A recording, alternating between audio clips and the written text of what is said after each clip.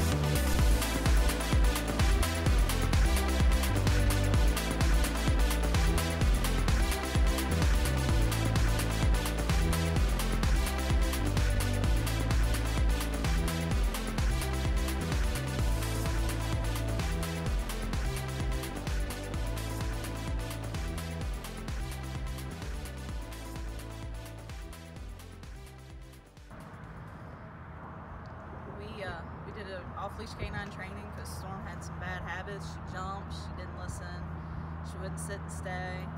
Um, after, sorry, after doing the two-week board and train, she's a totally different dog. Really impressed with her. She listens, she comes, she stays. Just really impressed with everything that they taught her at off-leash canine training.